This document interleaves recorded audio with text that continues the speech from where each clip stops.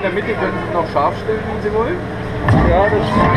Wir sehen, wir fahren jetzt verzögert los. Zack. Also wir fahren jetzt hier so durch die Märchenland.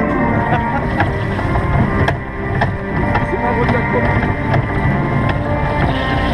Also eigentlich muss man zweimal fahren.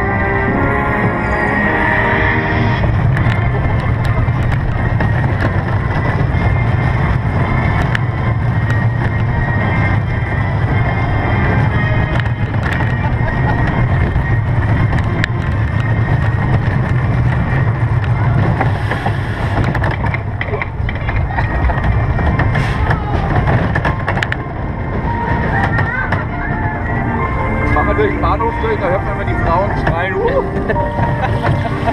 Das ist das Schloss von Duisburg. Oh, jetzt ist er ausgefallen. Bei Ihnen auch? Nein, bei mir läuft's noch. Ich fahre jetzt schön äh, das Treppenhaus runter.